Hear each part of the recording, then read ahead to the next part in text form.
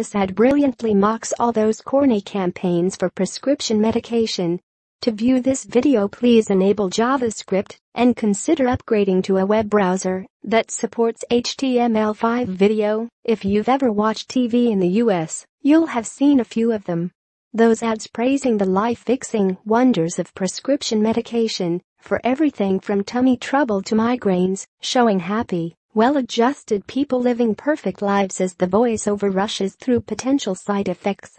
This advert is a little different because, well, it's advertising weed.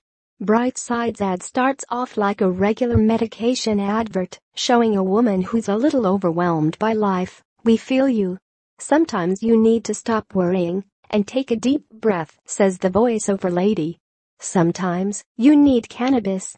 The ad then goes on to mention all the various types of dank herb and sticky icky you can get delivered to your door, complete with some nugs for you to blaze. Yes, there are side effects, and these are listed as they would be in any other medication ad. But those side effects include existential optimism, an elevated sensitivity to musical dopenesses, Angry Dad's epic road rage rant after getting stuck behind 20 cyclists angry pensioner tips tourist off his reserved sun lounger woman uses men's urinal after getting fed up waiting in ladies queue there's then a shot of a couple who are quite clearly very high as they're playing guitar, talking about wizards, and doing some intense dad dancing.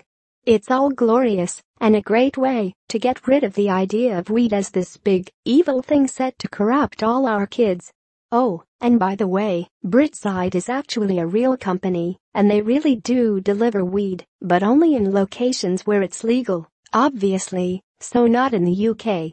More, what I learned when I stopped smoking weed more, how to break out of yo-yo debt more, I went to a meditation disco, and it was better than therapy.